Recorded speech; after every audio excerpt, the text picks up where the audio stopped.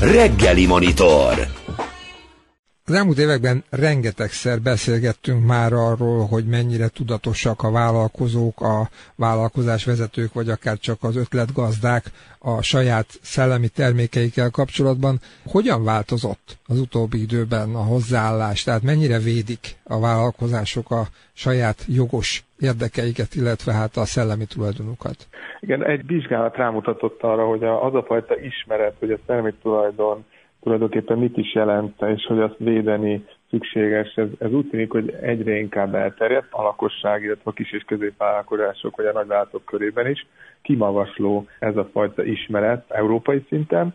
Ugyanakkor az látszik, hogy bár a védjegyek, tehát a különböző szolgáltatások elnevezése, vagy logóknak a védelme terén volt előrelépés, tehát több bejelentést tettek Magyarországon, ahhoz képest sajnos a szabadalmak esetében ez nem mondható el. Igazából van még itt munka, és hogyha megnézzük azt, hogy az össz oltalomszerzésben hogy állnak a magyar kis- és középvállalkozások, akkor sajnos ott is még egy elmaradást látunk. Az európai átlagnak kevesebb, mint a fele az a kis- és középvállalkozások, aki Magyarországon ilyen oltalmakkal bír, úgyhogy nagyon fontos minél inkább az ezzel kapcsolatos ismereteket tovább terjeszteni, illetve az anyagi lehetőségeket biztosítani különböző pályázatok révén az oltalomszerzéshez.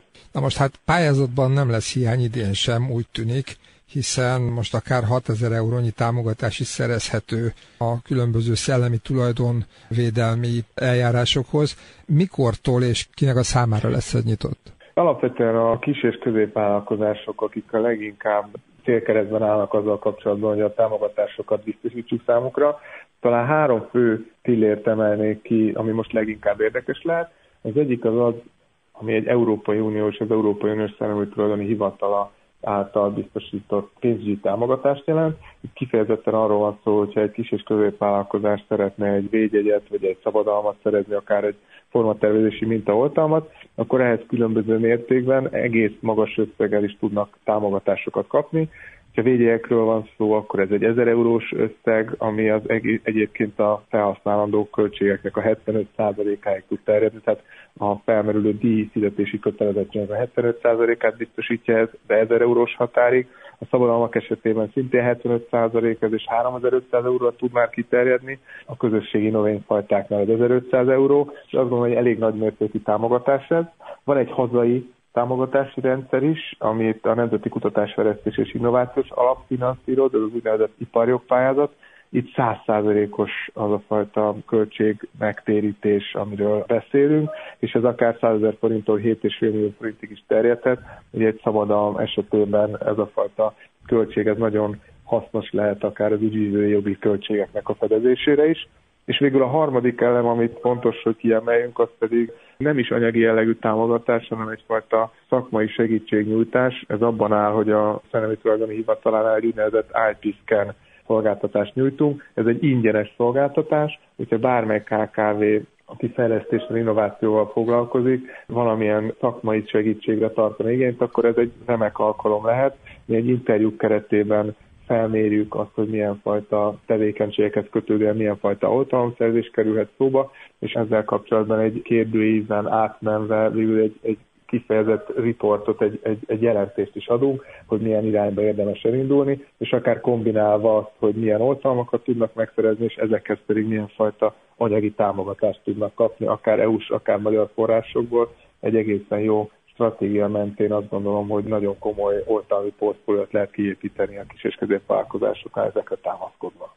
Na, ha már azzal kezdtem itt az interjút, hogy mennyire tudatosak a vállalkozók, ha visszatérünk erre az utóbbi szolgáltatásra, erre az ingyenes átbeszélésre, vagy arra, hogy egyáltalán tudják, hogy merre kell indulni. Ön szerint milyen iparágakból, vagy milyen területről lenne a legnagyobb szüksége erre a vállalkozóknak? Látszik-e valami tendencia, hogy kik a legtudatosabbak, és ehhez képest kiknek van a legnagyobb szüksége arra a fajta tanácsadásra, hogy egyáltalán elinduljanak ezen az úton? Én azt gondolom, hogy a startupok esetében ott, ott egy elég nagy fokú tudatosság van. Ott látszik az, hogy egyre inkább szeretnének olyan fajta szellemi tulajdoni oltalmakhoz támaszkodni, hogy tudják védeni a, az innovációikat. Hiszen az abból a szempontból is fontos, hogyha egy befektető próbál különböző befektetéséből nyilván egy megfelelő kockázat mentén anyagi erőkre szert tenni, akkor tudja azt, hogy szellemi tulajdoni szempontból egy jól védett portfólióról van szó, de ezeken túl is egyes területeken látszik nagyobb tudatosság, mint például az élelmiszeriparban komoly védjegy oltalmi szükséglet van, látszik az, hogy onnan, onnan érkeznek ilyenfajta vállalkozások, de hogyha kifejezetten műszaki technológiai területről van szó, akkor ott pedig a szabadalmak terén tudunk szerencsére egyre több cégnek ilyen megkeresések esetén információt adni. Úgyhogy egy trend annyira talán nem vonható le, ugyanakkor az látszik, hogy a tudatosság szintje akár az egyetemi oktatás keretében az a fajta tudás, amit meg tudnak szerezni, az, az már a fiatalok körében is nálunk jelentkezéseket tud produkálni. De most a legutóbb említett tanácsadást, illetve amikor átbeszélik a, a vállalkozóval azt, hogy hol érdemes, mit érdemes akár pályázni, erre ön szerint kinek lehet a legnagyobb szüksége? Én azt gondolom, hogy egy olyan vállalkozásnak, aki innovációval foglalkozik, vagy akár a versenytársaitól szeretné a saját fejlesztéseit, a saját piaci termékét, szolgáltatását megvenni, az mindenképpen hasznos, hogyha egy ilyenfajta szolgáltatást igénybe vesz, hiszen megtudja azt, hogy milyen jogi eszközökre tud támaszkodni a, a, a piacon későbbiekben. Mert egyébként úgy látja, hogy az innovációval foglalkozók nincsenek erre felkészülve, mert ugye azt akár borítékolni is tudtam volna, hogy egy startup az úgy indul neki, hogy ők lehetőleg elég hamar egy exittel sok pénzhez fognak jutni, tehát ők már eleve úgy kezdik az ötleteiket bevédeni, hogy az egy jó piacképes termék legyen. Én a másik oldalra lennék kíváncsi, hogy a különböző egyéb vállalkozások közül, tehát mondjuk akár a hagyományos iparágakban, akár az egészen kicsi szolgáltatási szektorban dolgozók közül kinek lenne a legnagyobb szüksége a bármiféle tanácsadásra? Nagyon sokféle kiindulópont lehet annak, hogy mely vállalkozás miért lehet hasznos ez a fajta, ez a fajta oltalomszerzés. Én azt gondolom, hogyha valaki a saját termékét, szolgáltatását akár egy élelmiszeriparban, vagy akár egy, mondom, egy műszaki területen, a gyógyszeriparban látszik egy nagyon-nagyon fontos innovációs szükséglet, de akár, akár azokon a most célzott állami támogatásokkal is célzott területeken, ahol az innovációban tényleg befektetés zajlik, ott, ott én azt gondolom, hogy bármely területen indokolt ez a fajta jogi oltalomszerzés, és ehhez azokat az információkat, amik, amik szükségesek, azokat meg tudjuk adni. Tehát tulajdonképpen azt javasolja, hogy bárki, aki csak így ránézve a saját tevékenységére úgy gondolja, hogy lehet itt bármiféle újdonság, vagy olyan dolog, ami megér egy ilyen odafigyelést, annak bátran javasolja, hogy jelentkezzen, vegyen részt egy ilyen folyamatban, mert kiderülhet, hogy sok százezer, akár sok milliós nyereségtől esik el, ha ezt nem teszi.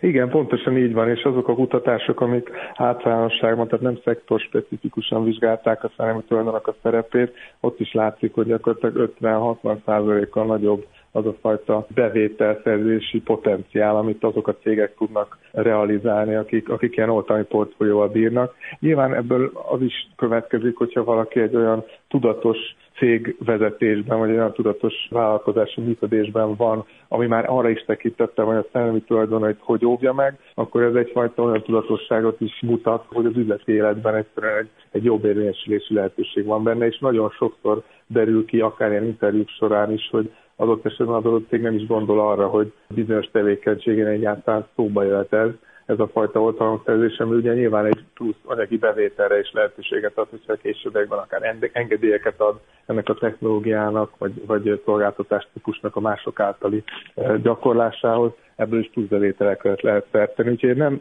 nem akarnám szűkíteni azokat a területeket, ahol az indokoltam. Tényleg, ahol valamilyen innováció vagy egy olyan tevékenység van, ahol fontos hogy valaki egy sajátságos szolgáltatást, egy sajátságos elnevezés alatt nyújt, akkor várjuk szeretettel, és biztos, hogy fogunk tudni segíteni.